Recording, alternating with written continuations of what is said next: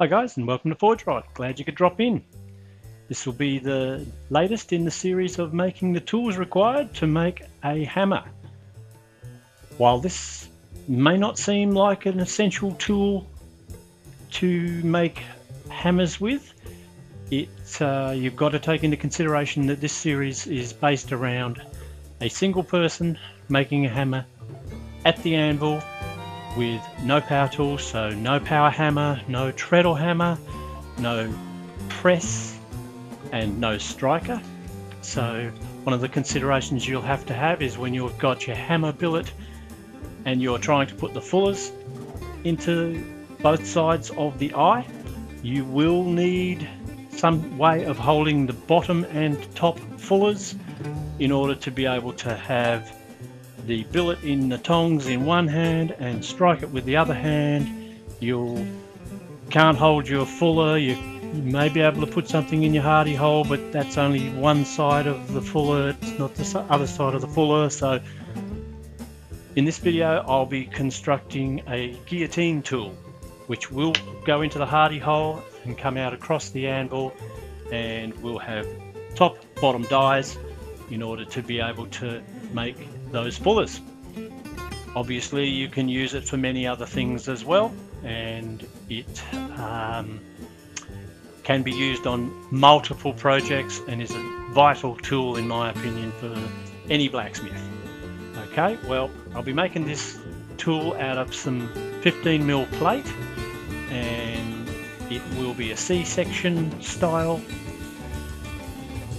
guillotine tool it will have a bend in the guillotine tool and I'll show some brief clips of a drawing that I've made, just a hand drawing that I've made to show exactly how I intend to put it together. It'll have a plate, it'll have a C-section and it will have a bottom and top die. That's the basics of it. It will have the ability to take 15, sorry, 16 millimeter thick dies, which is the same plate that I'm making the guillotine tool out of, but it'll also have an adaptation on other tools that I've seen on the internet that I haven't seen this adaptation before and it will not only be able to take the 15 millimeter dies as a single die coming together but also you'll be able to put up to a 40 millimeter die, potentially even up to about 43 millimeter thick die into this tool without having to undo bolts and take the plate off and put larger spacers in which I've seen on other videos or just have one single set and have to have a whole new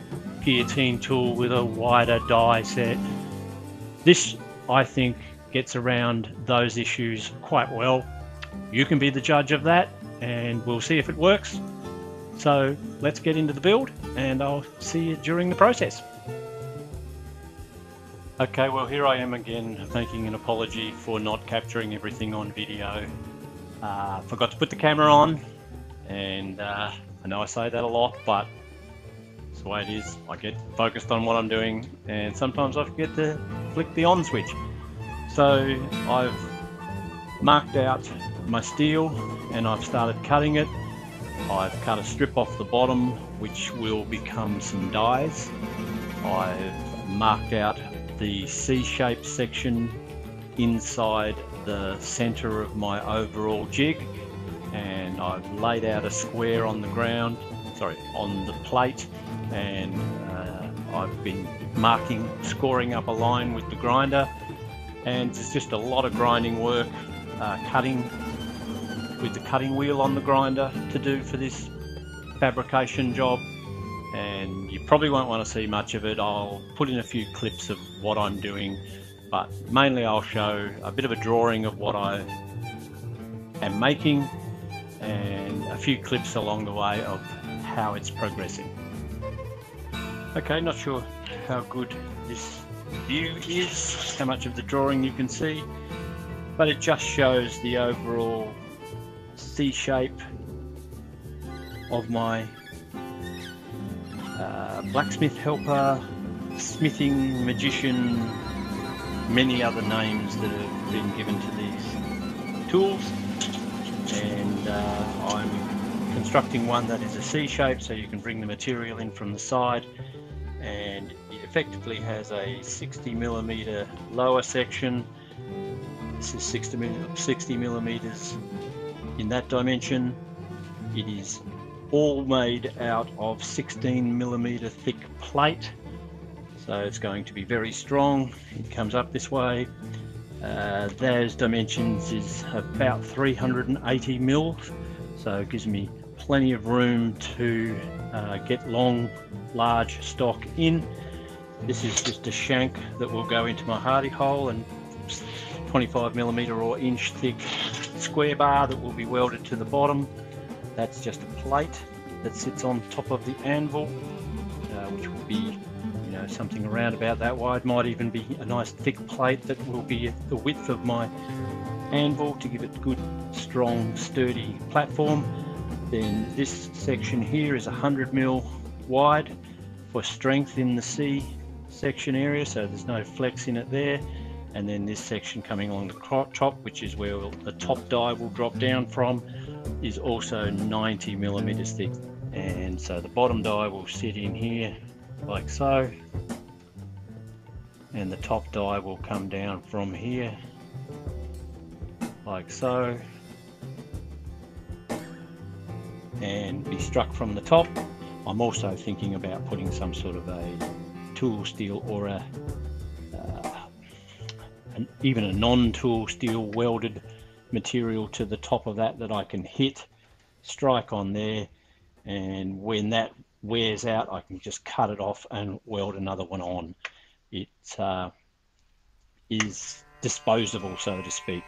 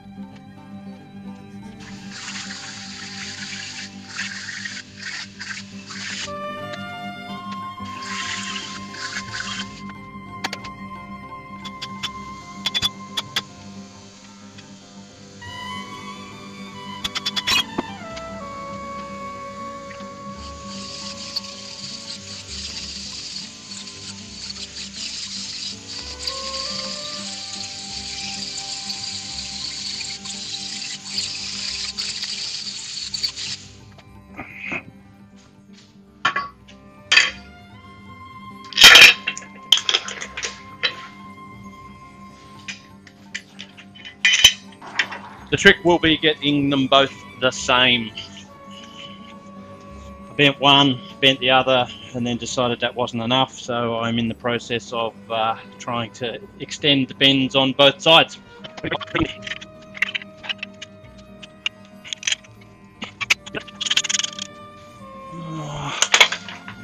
It's a bit hit and miss, really.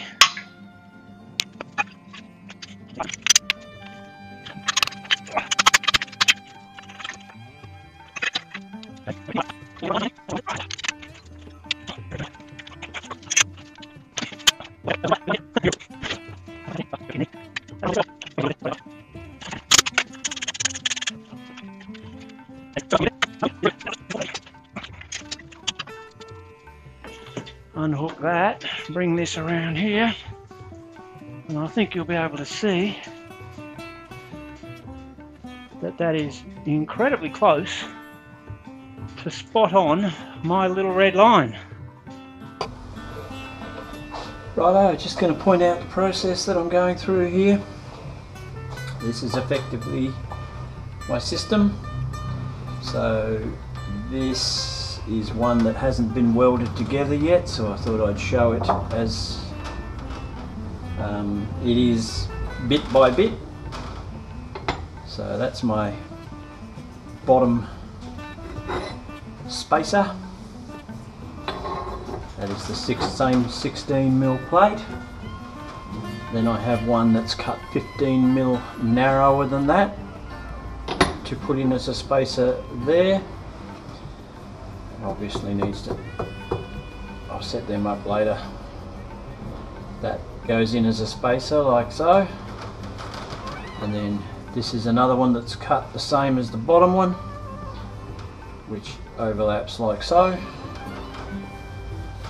and sits there. So I have made three of these already and this is the one I'm about to weld up now. So if I hold that there and pull that out this is effectively what they look like. Three pieces welded together which creates a channel. That is then welded to there.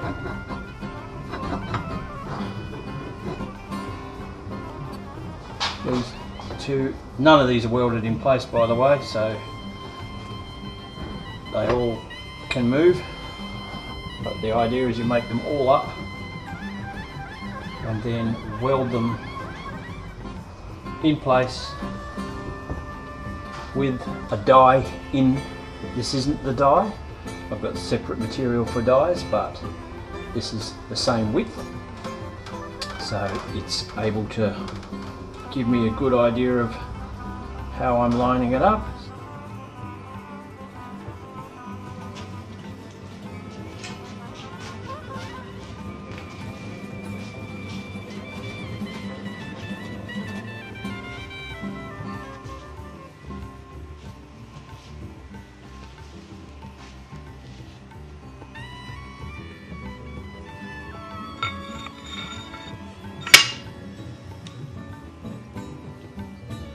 to show that that piece is made. And I've now cut my first two dies. So they're just cut out of the steel and not uh, the dies aren't put in in the shape that I want. That's just a straight fuller. This then slips in there and drops down to the appropriate place down there. I've got it just a bit thicker at the top there so that it doesn't go all the way in at the moment. I can see what I do is I just get in here with the uh, worn out flap disc and just take a little bit off the edges of here where I feel that it needs to be taken down so it slides easily. Unfortunately this scrap piece of steel is not 100% dead straight. It's got a slight bow in it probably only a millimetre or half a millimetre so I've had to take a little bit out of the edges of here. A couple of them are like that, a couple of them aren't so I'll work on that as I go. So yep, she just dropped in. So that's my top die and I've just marked up this here so now I'm going to cut that in half which will allow me to slip this into the bottom section which will make one, two top dies Have, I've got four of those I can make and I've got four of these to make. Unfortunately I only have the angle grinder to cut my dies with so you've got to be very careful to make sure you're cutting the line straight. Very difficult to cut a, I shouldn't say straight, it's easy enough to cut a straight line. Difficult to cut a vertical line with these things.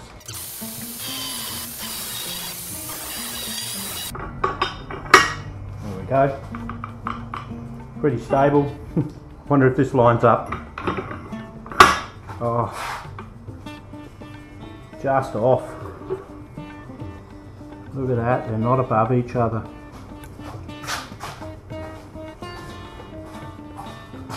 Got a bit of an alignment issue there. What I might have to do, try and twist this heat it up here.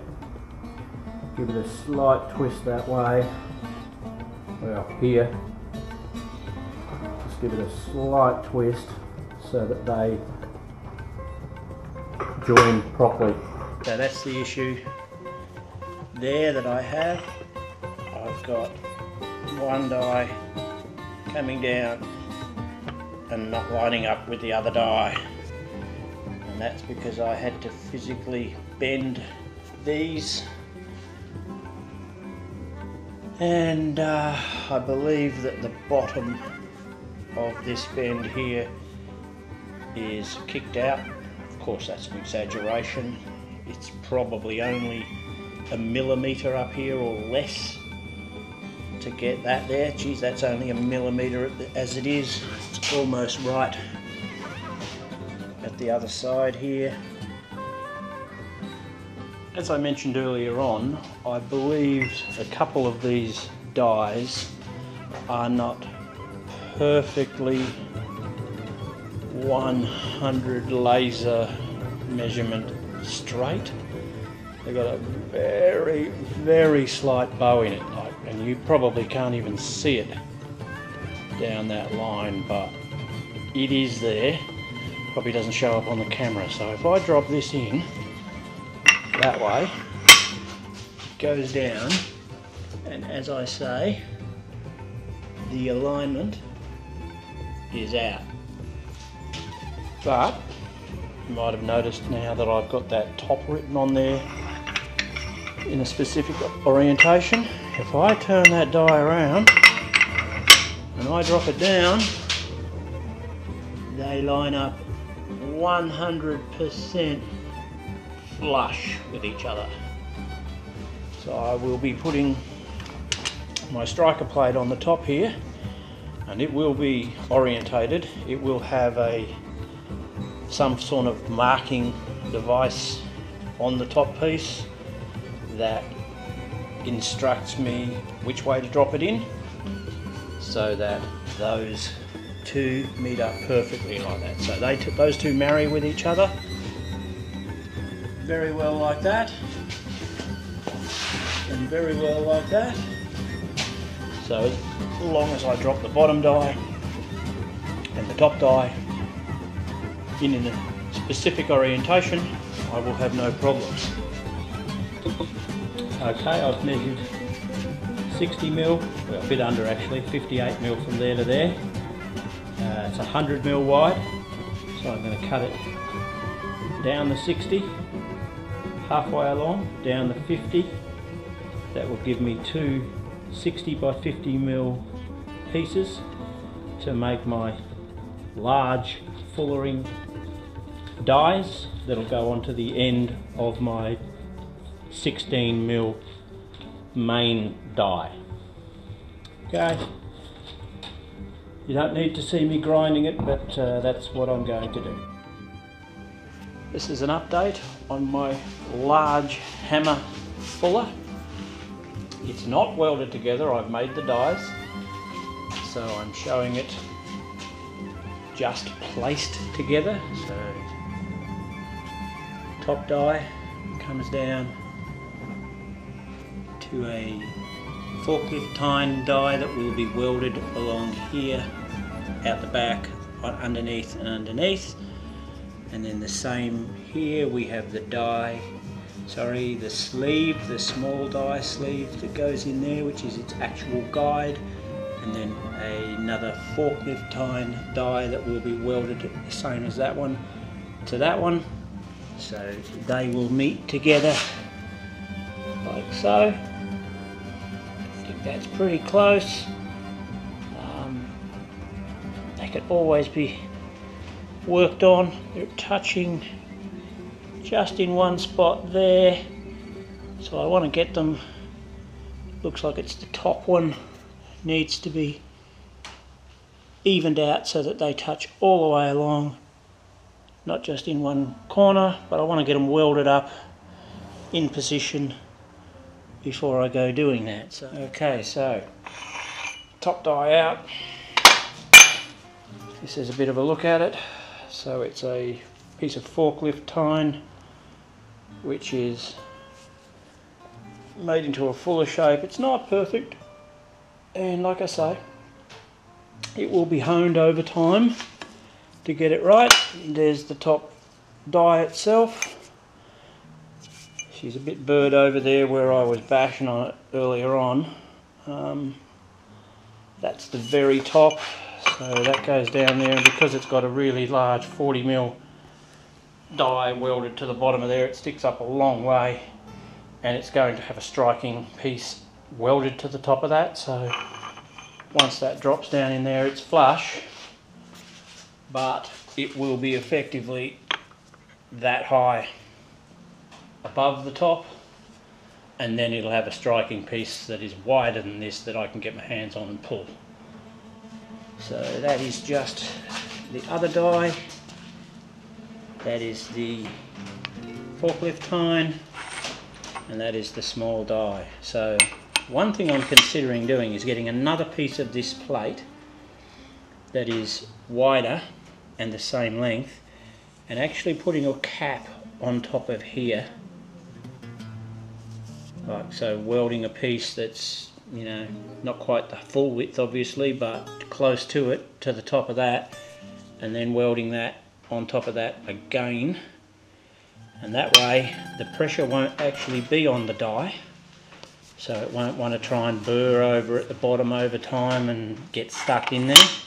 The pressure will be over the top of this spread out over the top of that and all the way around here so I think if it has a cap over the top of this bottom die and then that welded to that, that might, I know it'll lift it up a bit, but I've got plenty of room. I've made the thing plenty big enough to have plenty of room to get another piece in between. And I think that might um, assist the overall longevity of this bottom die. What I'll do is I'll get them in place as much as I can, put a piece of something on either side of them, clamp it up so I know they're in the right place and tack weld them in place before welding them to the bottom. My plan here is I've got my plate cut. It's got a bit of a rock in it so I'm going to have to deal with that at some stage. You can see I've drawn a little square there. I hope you can see it with the light. That is where I'm going to cut out so that this drops down in there. This 25 by 20 inch stock will be attached to the base of there. Base plate will slide in around the inch stock once I've cut that piece out of there.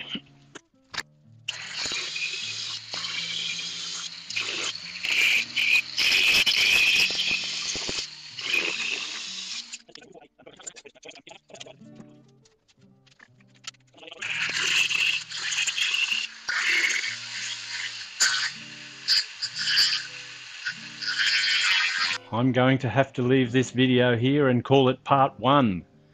I'm disappointed I didn't get to finish off all of the work I need to do on this. I've got very close. I have made the actual jig. I've cut out a lot of my dies. I haven't welded the large fullering dies to the sliding sleeve dies, which is what I need to do to be able to put the large hammer fullers in. I've cut out my plate for the base, haven't welded that on. I've also made the Hardy shank to weld onto the back over here, but I haven't um, welded that on. The reason that I won't be able to finish this video today and get it up fully finished is because I have injured myself. And I won't be able to do any work in the workshop for at least a week, so I thought I may as well just call it part one and put part two up when I'm able to get back in and do some welding and grinding and things like that. I won't go into the gory details, but I'm not allowed to use my left hand with anything physical, so that rules out doing this sort of work and uh, therefore I will leave it here. Disappointed, but very happy with the progress to date. So thank you for tuning into Forge-Wright today and watching this video. I'm sorry I didn't get all the way through the project, but uh, that'll just give me an opportunity to put up part two. If you haven't already subscribed, please do so. Give this video the thumbs up if you did enjoy it, and maybe share it with your friends. Okay, I'll see you when I've recovered from my injury, and uh, thanks again for watching.